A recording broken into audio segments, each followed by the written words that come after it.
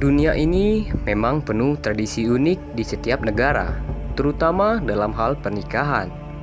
Setiap suku memiliki praktik dan ritualnya sendiri. Demikian pula halnya dengan suku Kreung di Kamboja yang mengikuti ritual yang sangat unik. Orang tua sengaja membangun gubuk cinta bagi anak perawan mereka ketika mencapai masa pubertas antara 13 sampai 15 tahun. Ayah mereka akan membangunkan gubuk berbahan bambu yang terpisah jauh dari rumah keluarga sehingga mereka dapat bersosialisasi dengan bereksperimen dengan anak laki-laki secara pribadi. Orang Kreung benar-benar menanamkan pesan kuat bahwa seks bebas atau sebelum menikah dapat diterima.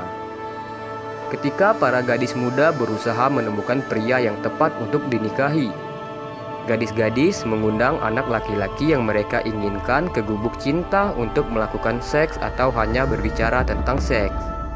Anak laki-laki tidak agresif. Mereka telah diajari bahwa perilaku hormat mereka terhadap anak perempuan akan mempengaruhi keturunan keluarga mereka, dan mereka menganggap tradisi ini dengan serius dan membiarkan anak perempuan yang akan mengambil tindakan dalam tradisi tersebut.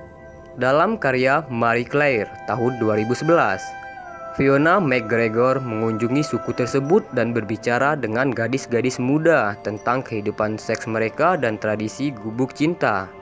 Semua gadis muda menegaskan tradisi seksual dilakukan secara mandiri, serta mendapat persetujuan dan kepercayaan orang tua mereka dalam mengambil keputusan mereka dan mengklaim bahwa Pondok Cinta memberikan mereka kesempatan untuk mencari tahu pria mana yang mereka ingin nikahi. Dalam budaya ini, perceraian tidak pernah terdengar. Begitupun kata pelacur, sama sekali tidak dikenal di kalangan suku Kreung. Para gadis perawan dapat memiliki banyak pacar sekaligus di gubuk mereka, dan tidak ada perkelahian atau kecemburuan jika dia akhirnya hanya memilih satu anak laki-laki dari sekian banyak pilihan. Kekerasan seksual pun jarang terjadi dan pemerkosaan tidak ada. Tentu, kehamilan yang tidak diinginkan terjadi, tetapi biasanya pelamar yang dipilih gadis itu akan membesarkan anak itu seperti anak mereka sendiri. Anehnya, tradisi ini maju dan mempercayai wanita remaja untuk membuat keputusan sendiri tentang kesehatan seksual dan kehidupan romantis mereka. Sungguh jauh dari apa yang kita lakukan dalam pendidikan. Pantang di sekolah dicampur dengan pornografi sebagai pendidikan seksual karena kebanyakan orang tua terlalu tabu untuk berbicara dengan anak-anak mereka sendiri tentang seks.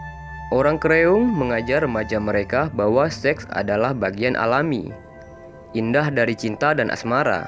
Namun, tradisi ini terancam oleh beberapa faktor seperti berhubungan dengan dunia luar melalui teknologi.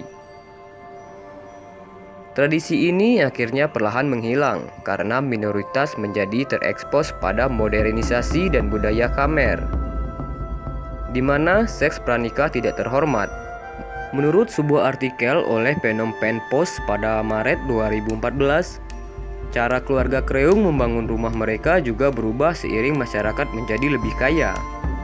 Secara tradisional, rumah mereka terbuat dari bambu kecil dan tidak tahan lama pada saat musim hujan tiba. Namun, sekarang beberapa desa membangun rumah mereka dari kayu atau batu bata yang tahan lebih lama ketimbang batu sehingga mereka lebih suka menempatkan semua kamar tidur di dalam satu rumah untuk anak perempuan mereka.